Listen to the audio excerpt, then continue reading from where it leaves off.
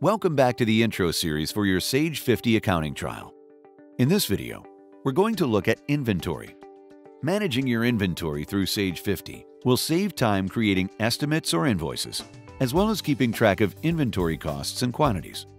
One of the most powerful components of the Sage 50 inventory feature is price lists. By setting up customized price lists, you can offer preferred pricing and manage cost fluctuations. Let's take a look at how to enter inventory.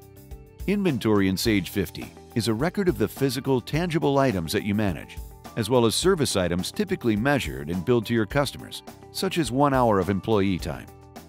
To add an item, open the Inventory and Services page in the Home window. In the Tasks pane, right-click the Inventory and Services icon. Select Add Inventory and Services from the menu. Enter an opening quantity and value for each physical item. You can use the Statistics tab to enter information about the item. If you require more advanced features, Sage 50 Quantum Accounting offers serialized inventory. That's it. You're now ready to begin entering inventory in Sage 50.